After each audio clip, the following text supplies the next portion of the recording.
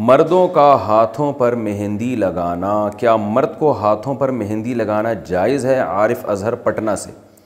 नहीं जी, मर्दों के लिए औरतों की मुशाबत हराम है। मर्द हाथों पे मेहंदी लगा के अच्छे भी नहीं लगते।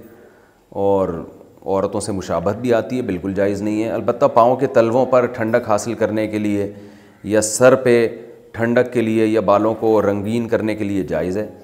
हमें तो याद है, बचपन में जब कभी हम जैसे ईद पे लड़कियाँ बैठी हुई होती थी ना, ख़ानदान की लड़कियाँ, वो मेहंदी लगा रही होती थी तो हम भी छोटे बच्चे थे, जाके बैठ जाया करते थे। तो हमारी दादी हमें डराती थी कि जो लड़का मेहंदी लगाता है, वो तलवार नहीं उठा सकता। तो पहले ज़माने में औरतें अपने बच्चों को बहुत नसीहत करती थी लड़कों को कि तुम मर्दों वाले काम करो, औरतों वाले काम ना करो।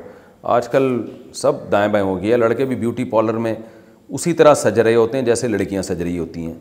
तो ये लड़कों पे ये चीज़ें सूट नहीं करती। आदमी है तो आदमी होना चाहिए उसको।